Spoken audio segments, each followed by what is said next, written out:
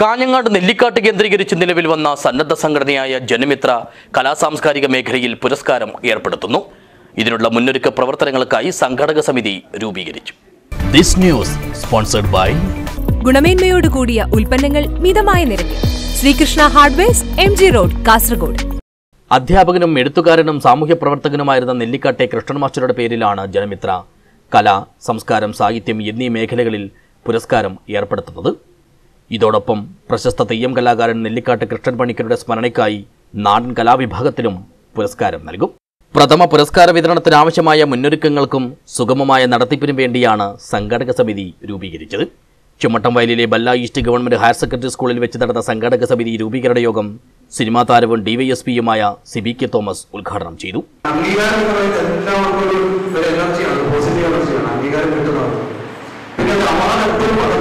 എപ്പോഴും എന്റെ ഒരു കാഴ്ചപ്പാടാണ് ഞാൻ പറയുന്നത്.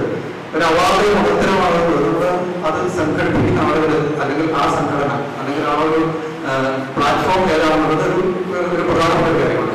രണ്ടാമത്തെ കാര്യം എന്ന് പറയുന്നത് ആരുടെ പേരിലാണ് ഇത് സംഘടിപ്പിക്കുന്നത്? ഈ രണ്ട് കാര്യങ്ങളും നിങ്ങളുടെ വളരെ മുന്നിലാക്കുന്നുണ്ട് അതുകൊണ്ട് ഈ അവാർഡിന് അതിന്റെതായ മൂല്യമുണ്ട് മൂന്നാമതായി കാണുന്നത് ആർക്കാണ് കൊടുക്കുന്നത്? ആ കാര്യം വരാൻ പോകുന്ന സംഭവമാണ്.